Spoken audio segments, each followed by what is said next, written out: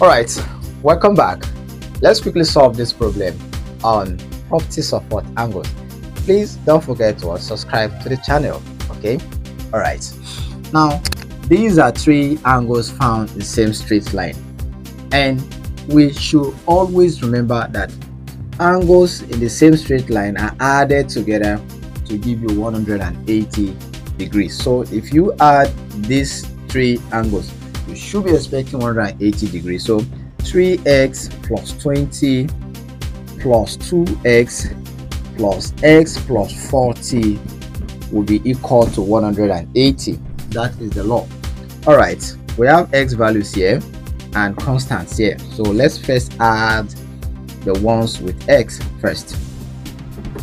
Then we add the constant 20 plus 40 equal to 180 degrees. Of course 3x plus 2x plus x is 6x plus 20 plus 40 is 60 and this will be equal to 180 and the next step is to what? Collect like terms. Collect like terms. Now this 60 and 180 they are constant so they are like so take plus 60 degrees to this side. The remaining 6x at this side then this side will be 180 degrees minus 60 degrees. Of course 180 minus 60 is 120 degrees. So we divide both sides okay? Let me write it out.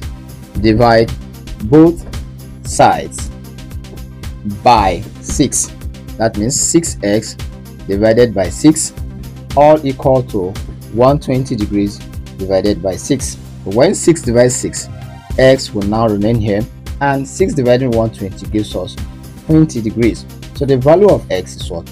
20 degrees. Thanks for watching. Bye